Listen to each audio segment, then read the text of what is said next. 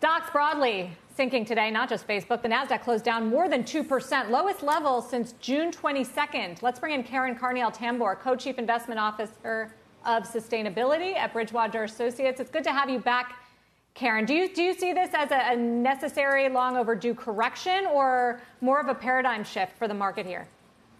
I think the market is finally shifting to seeing uh, what are the inflationary pressures that have been building up that it was easy for a long time to say it's just semiconductors, that's a small pocket, or just natural gas, or it's just shipping and ports.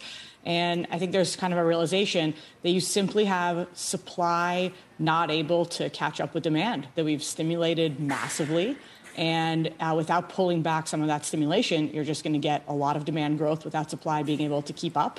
And in many parts of the economy, you can build up that supply through time and you'll just get inflation. But in other cases, you actually get some slowing growth as well because the supply simply can't be replaced and you get things that look a little more stagflationary.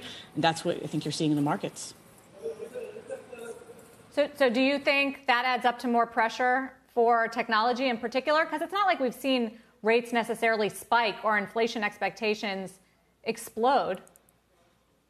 I don't think the pressure is uh, unique on technology. Technology sector and every sector has its own, you know, idiosyncratic things that are causing the price moves. I think that the pressures are very broad based because it's a very broad macro story, and you see idiosyncratic pockets in certain places. The biggest, most kind of shocking moves you've seen have really been uh, throughout the whole commodities complex, most importantly in energy, because there you see some of the tightest squeezes and some of the longest time to alleviate them.